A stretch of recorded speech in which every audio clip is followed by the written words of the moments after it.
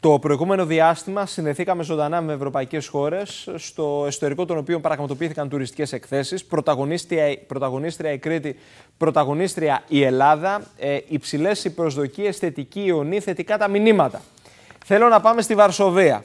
Πάμε να συναντήσουμε τον πρόεδρο της Ένωσης Ξενοδόχων Ερεθύμνου και βέβαια γραμματεία της Πανελλήνιας Ομοσπονδίας Ξενοδόχων. Είναι ο κύριος Μανώλης Τσακαλάκης, τον οποίο θέλω να ευχαριστήσω πολύ και για την αποδοχή της πρόσκλησης και για την αναμονή. Τι κάνετε, πώς είστε πρόεδρε; Καλησπέρα κύριε Παναγιωτόπουλε, καλησπέρα και στους τηλεθεατές. Για πείτε Καλά είμαστε.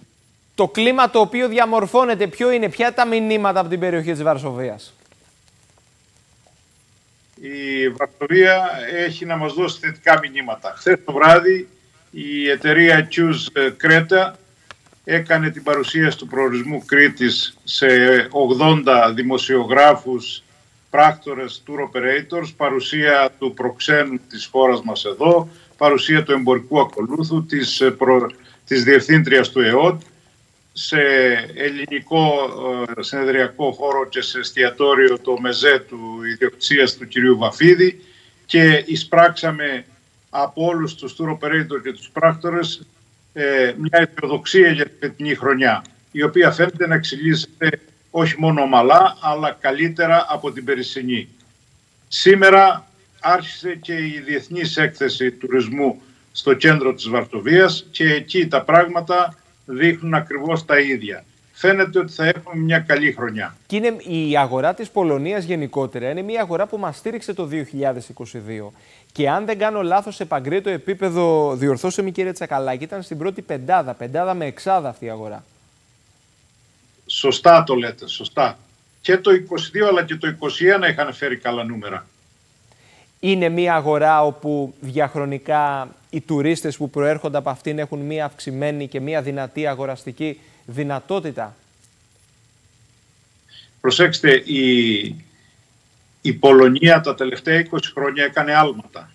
Αυτή τη στιγμή δεν θυμίζει σε τίποτα με την παλιά Πολωνία. Εγώ έρχομαι εδώ και 20 χρόνια στην Πολωνία.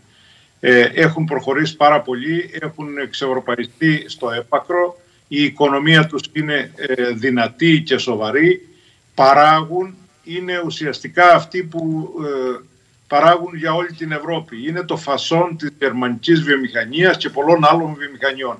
Καταλαβαίνετε λοιπόν ότι υπάρχει οικονομική ευχέρεια και οι Πολωνοί ταξιδεύουν πάρα πολύ. Η χώρα μας είναι υψηλά στις προτιμήσεις τους. Οι Πολωνοί έρχονται στην Ελλάδα και στην Κρήτη για ποιους λόγους; Τους ελκύει ο θεματικός τουρισμός, στοχεύουν κάπου συγκεκριμένα ή απλά θέλουν τον ε, ήλιο, την θάλασσα και την φιλοξενία, για παράδειγμα, της Κρήτης; Έχουν ακριβώς την ίδια νοοτροπία όλων των κεντροευρωπαίων, δηλαδή των γερμανόφωνων λαών, Γερμανίας, Αυστρίας, ε, Ελβετίας, αλλά και των υπολείπων Ευρωπαίων. Έχουν εξευρωπαϊκή, το είπαμε αυτό. Έχουν ακριβώς την ίδια νοοτροπία, ψάχνουν το ήλιο και θάλασσα, την περιπέτεια, την καλοπέραση, ε, ενδιαφέρονται και για το θεματικό τουρισμό.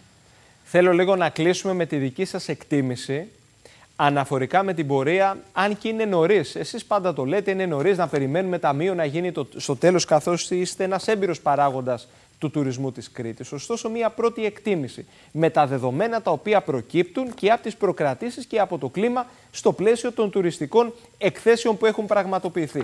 Πού βρισκόμαστε, πού βαδίζουμε με όλα αυτά που εισπράξαμε, όχι μόνο εδώ, αλλά πρωτίστως στην έκθεση του Βερολίνου, η οποία τέλειωσε την προηγούμενη εβδομάδα, ε, είμαστε σχεδόν πεπισμένοι ότι εάν δεν έχουμε κάτι το οποίο θα αναστατώσει την σεζόν αυτή και θα μας δημιουργήσει προβλήματα, θα μιλάμε για μια χρονιά σταθμό ξανά. Θα, θα ισοφαρίσει και θα ξεπεράσει τα νούμερα του 2019. Και σε άτομα και σε τζίρους. Κύριε Τσακαλάκη, ε, να σας αποδεσμεύσω. Γνωρίζω ότι το πρόγραμμά σας είναι ιδιαίτερα έτσι επιβαρημένο. Με το καλό να τα πούμε και στην Κρήτη, μόλις επιστρέψετε. Να είστε καλά.